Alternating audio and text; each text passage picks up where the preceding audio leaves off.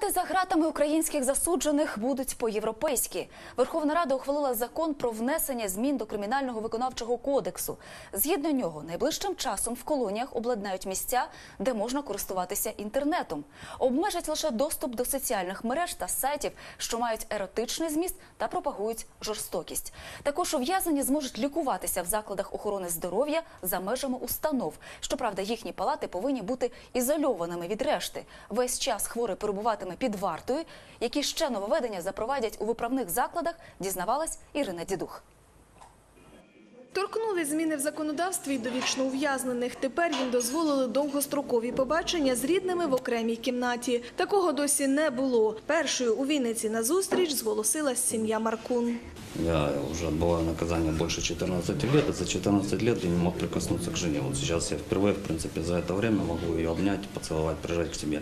Ну, слава богу, что произошли изменения в стране. Сергій потрапив за грати в 27. З Вікторією одружився вже у в'язниці. Тепер, кажуть, навіть подумають про маля. Адже бачитись зможуть що три місяці, як дозволяє довічникам новий закон. Те, що дитину доведеться виховувати самій, жінку не лякає. Сподівається, справу її чоловіка переглянуть і він вийде на волю. Муж мой не сидит за убийство, а это он как пособник в неза- незакінченому злочине, в замахе, да, который э, вообще узнал как бы адрес проживания потерпевшего, и все, а потерпевший жив.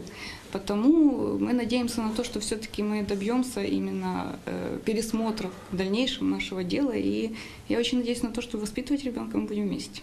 Спеціально для таких побачень у в'язниці облаштували кімнату. З вигляду вона нічим не відрізняється від звичайної. Є ще кухня та ванна. Нагадують про неволю тільки грати на вікнах і дверях. Але про безпеку будівельники подбали. Вмурували в стіни армовану решітку. Коли черговий відкриває двері, щоб засуджений на нього, ну не дай Боже, не напав, обов'язково є попереджувальна решітка, яка закрита теж на замок. І е, це все на протязі 24 часов знаходиться під відеонаглядом В чергу на довгострокове побачення вже записались 10 довічно засуджених. Загалом вже у Вінницькій установі їх більше 400. всі живуть з надією вийти. Це великий крок для підтримки цієї їхньої надії. Тому що, як вже е, я чув сьогодні, що дуже багато довічників втратили зв'язок з зовнішнім світом. Дуже. Це їх стимулює. Вони почнуть і одружуватися, і батьки, які не було можливість, вони все одно приїдуть.